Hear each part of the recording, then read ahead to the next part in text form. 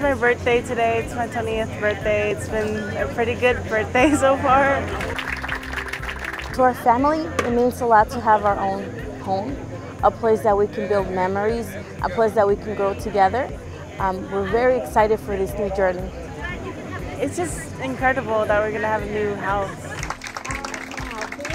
Another wall raising ceremony at the new Heritage Hills subdivision in Nicholtown celebrating affordable homes. The home marks the 400th home built by Habitat for Humanity of Greenville County since 1985. Well, that's a milestone that we're proud of uh, that also says what we're capable of doing in the future. So we're excited about that. This is part of an Abraham build, which brings together eight congregations in the Muslim, Christian, and Jewish communities to build a home for a family in need.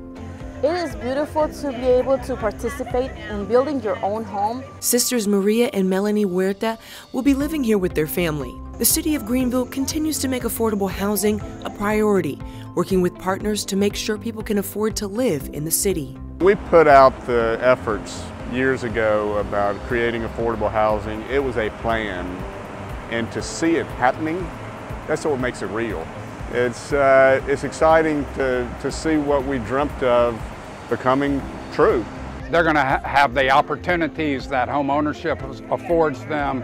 Uh, it's just a great day. It feels great for me, but even more, it feels great for the families we serve. I'm Lauren Thomas for the City of Greenville.